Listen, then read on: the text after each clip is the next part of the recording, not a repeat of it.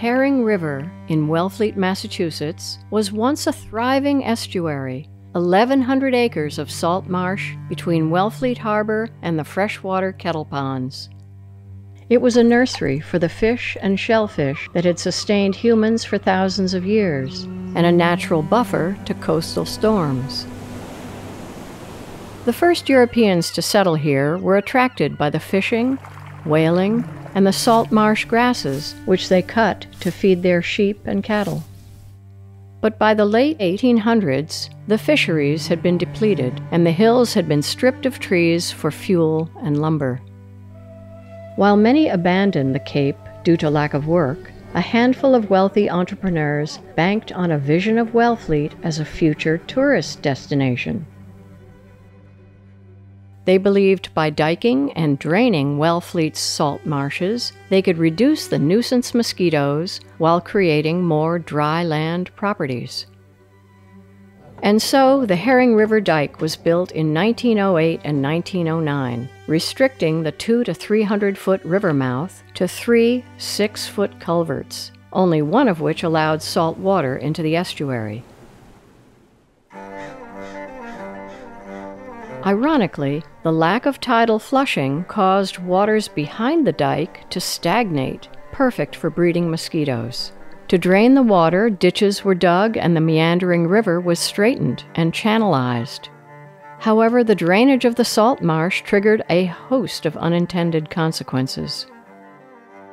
In the early 1970s, the original dike started to fail, allowing more salt water upstream. After lengthy debate, the town decided to rebuild the dike instead of a bridge. 1980, the uh, State Attorney General's office asked the Park Service to collect data. We started doing some water quality sampling. There was a fish kill. We started looking a little bit closer, and lo and behold, things were very wrong. We observed thousands of dead and dying American eels, large eels, all over the bottom, literally thousands. The entire run of herring coming out of the kettle ponds was dying en masse as soon as they hit the estuary downstream of Route 6. And so we realized there was a really serious water quality problem in Herring River. We've got a diked marsh that's spewing out totally acidic water. How acidic? Dissolved shellfish. We knew that if the salt marsh peat were resaturated with water again, with seawater, it would no longer leach sulfuric acid. We knew we needed to restore tides and seawater to some extent but there were concerns about restoring seawater to the floodplain given the many decades of tidal restriction. So some modeling had to be done that simulates the system with field data. The hydrodynamic model simulates what's happening with the movement of water the exchange of salt, potential movement of sediment transport. This allows you to predict and say what opening should we consider, what's going to happen in these various meteorological conditions, as well as sea level rise increases, how the ecological landscape of the Herring River Marsh Complex was going to change. So that's kind of the power of, of the modeling. And it also helps guide that engineering design process. The restoration will be managed as an incremental process with multiple pieces of infrastructure to support the return of tidal flow, the largest of which is the Chequesset Neck Bridge. The gates will be oriented to match what the existing flow is, and then only after construction is complete will the various agencies proceed with raising the tide uh, incrementally at first until they can, they can understand uh, the effects. Then upstream, there's a, a, small earthen dike that crosses the floodplain called High Toss Road. That's like a speed bump to the tide. There's a dinky little five foot culvert under here and the whole river has to pass through that.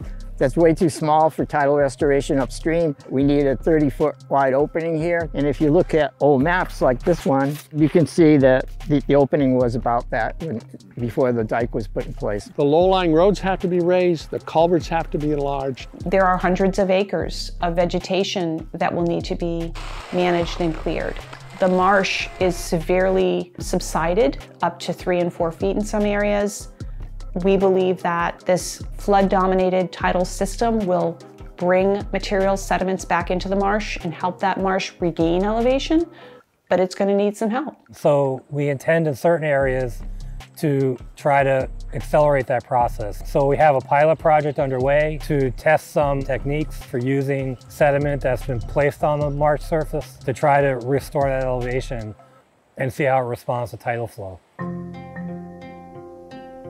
The purpose behind this entire effort is to restore a damaged ecosystem that is actually impaired under the Clean Water Act, to improve the herring fishery and the ecological function of the entire Herring River network. Herring are a really important species of, of fish through the whole ecosystem because everything eats a herring. They, as they go out into Cape Cod Bay and into the greater Gulf of Maine uh, ecosystem, the more herring that go out there, the more they can be eaten by all these commercial recreational finfish species. 75% of the fish that we consume either eat something that had a time of its life in the salt marsh or actually have part of their life cycle there improved oyster beds, wild oyster beds, which are incredibly important to the town of Wellfleet, and for recreational benefits. There's going to be enhanced recreational access integrated into the Chequesset Neck Bridge behind us. There's going to be improved habitat for wildlife viewing. The birding potential in there is just going to be spectacular.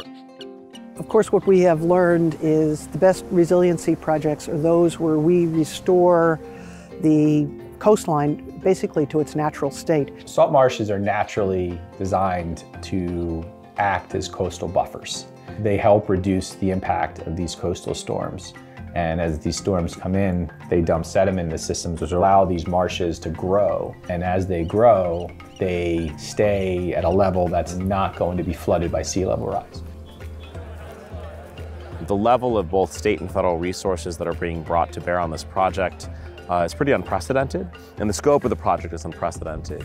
And I think we really felt that it was a model for what we should be doing in, in, in coastal New England, uh, you know, and, and, across the eastern seaboard. The Friends of the Herring River have done unbelievable outreach to get people on board and build consensus around the importance of this project. So it's a real success story in uh, community organizing and listening to people and having flexibility while never letting go of the core mission because this is really an expression of a community believing in its, in its future, believing in its tomorrow, believing in its children.